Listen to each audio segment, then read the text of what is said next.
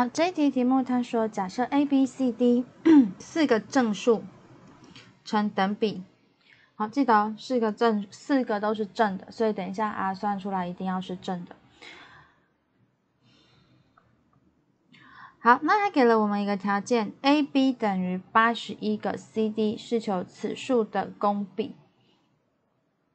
条件给我们了，那这个好了。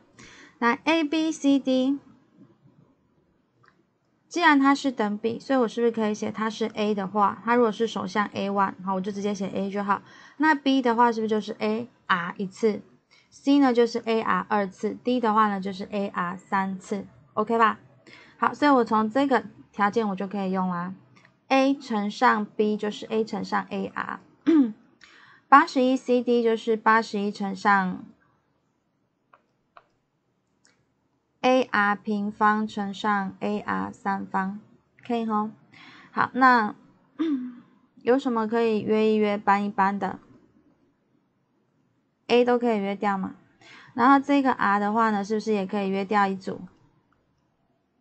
所以呢，我就可以知道 r 平方等于八十一分之一哦，r 四方不是 r 平方，r 四方。